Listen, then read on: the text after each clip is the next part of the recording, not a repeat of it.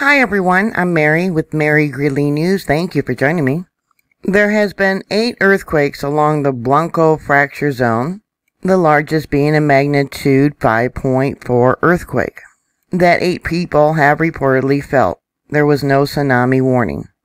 Here's the location of those earthquakes. This is the Blanco Transform Fault, and we should not be surprised one bit that these earthquakes are happening. I had reported about how the uh, movement of the Juan de Fuca fault zone had been creating earthquakes up here in Northern California uh, with the uh, movement of the San Andreas fault trying to extend itself.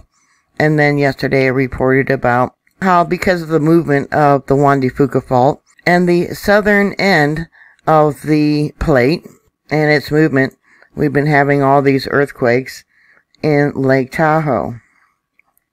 Uh, you know, when they had that hydrothermal explosion and subsequent earthquake, it created a tsunami over 200 feet high there along the shorelines of Lake Tahoe. There was no tsunami threat from any of these earthquakes that occurred along the uh, Blanco fracture zone. You notice these fault lines going up through here. And I drew out, and I, or I should say I place the moment tensor ball. We have spreading that occurred in each of these zones. Yeah, the land is separating, spreading apart. The crust is getting thinner. So here we have the moment tensor ball for that 5.4 earthquake. The first wave of the earthquake came straight up. We got spreading, thinning of the crust. Tension was applied, going guess where? Going east towards the Cascadia Fault Zone, which is an area of subduction underneath the North American plate, which was long overdue for a major earthquake. Oh, they got nine earthquakes listed for the last week, the latest being a 3.8 before that, a 4.1, a 5.3, a 5.2, the initial large one of a 5.4, a 4.3, a 4.4, a 4.1, and a 2.0. All that's along the coast here of Coos Bay. So I was right. There's eight earthquakes within the last week. Um, this one here now that one was on, let me pull it down, the 26th. All the other ones have occurred today, the 29th of April. So the 5.4 earthquake occurred at 3.30 a.m. Pacific Standard Time. Four minutes later, there was a magnitude 5.2. Two people reportedly felt that earthquake. So here we have the moment tensor ball for the magnitude 5.2. Pressure came from straight up. We got thinning of the earth crust and tension was applied, guess where? Going east. And you notice the fault line slightly moved south. More on that in a minute. 23 minutes later, there was a magnitude 5.3 earthquake that four people reportedly felt.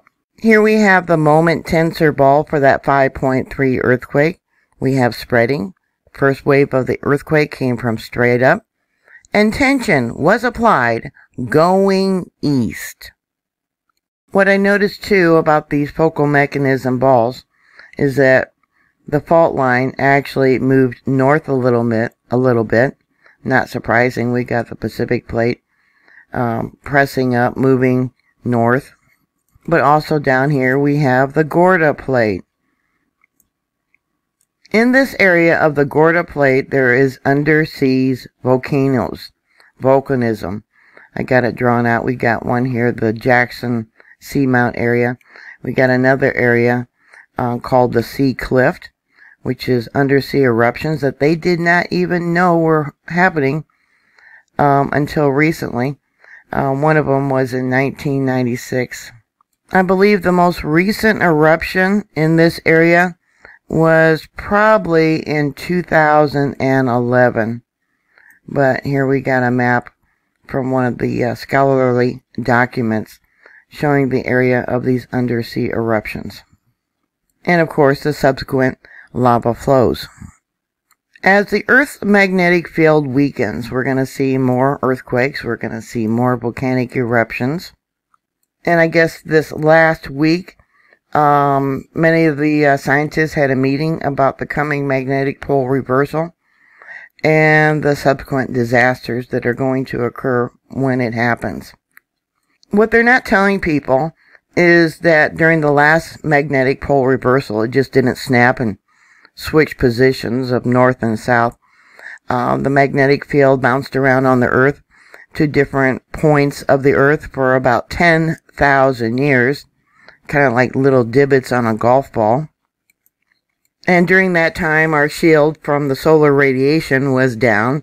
GPS wouldn't work. You'd have major earthquakes. If the flip lasted for 10,000 years, yeah, can you imagine? We would be living in a different world then. With all the volcanoes that would erupt during that period, we would go into a ice age. And who knows how long that would last, which means no food growing, the pollution of our water, and that would be because of the ash, and then the power outages because of the ash shorting out the power lines. Depending on where the volcanic eruptions occurred, it would be uh, building collapses, much like what was going on and is going on in St. Vincent there in the Canary Islands. Makes me wonder how soon this magnetic pole reversal will happen if the scientists got together and discussed what to expect during that time.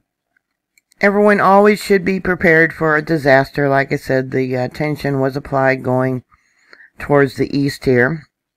The Cascadia fault zone is capable of having a magnitude 9 or greater earthquake. It would be felt over a very wide area. Yeah, the west coast would be toast. Because of the recent movement of the San Andreas fault zone trying to move into this area, very well could have an earthquake along there too.